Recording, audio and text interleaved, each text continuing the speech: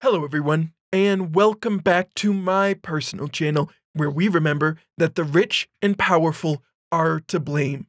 Today, we are talking about the most popular musical act in the United States, Taylor Swift.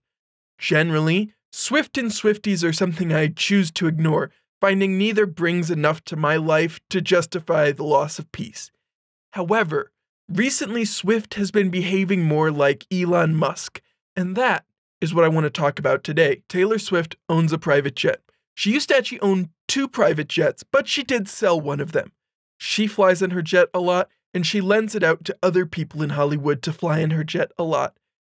And recently, she decided to threaten a lawsuit against college student Jack Sweeney because Jack Sweeney operated social media accounts where he shared publicly available information about the flights of her jets. Let's break this down.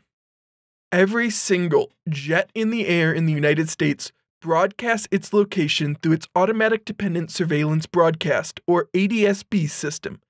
This information can be captured with a cheap radio, and various tools allow people to share the information they are receiving on their radios, making real time tracking of these jets possible.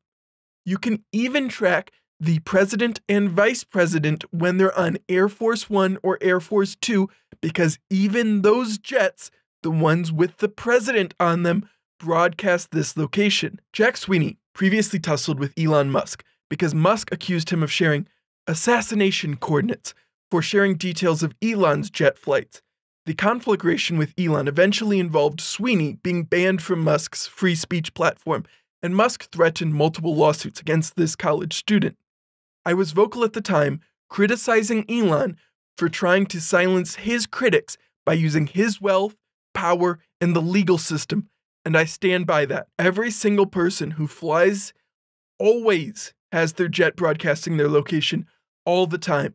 This is true from the most plebeian plebe to the President of the United States. Everyone's assassination coordinates are being shared, and the billionaires have resources to actually mitigate those potential harms. Swift, in an attempt to be as much of an asshole as Musk, has now also threatened lawsuits against Jack Sweeney, and the cease and desist letter from her lawyers specifically claims this is unlawful behavior, that sharing the information that her jet is already broadcasting at all times is unlawful. And they further claim that this is harassment and that Taylor will pursue any and all legal remedies available to her. I will say simply and unequivocally that this is awful for Taylor to do.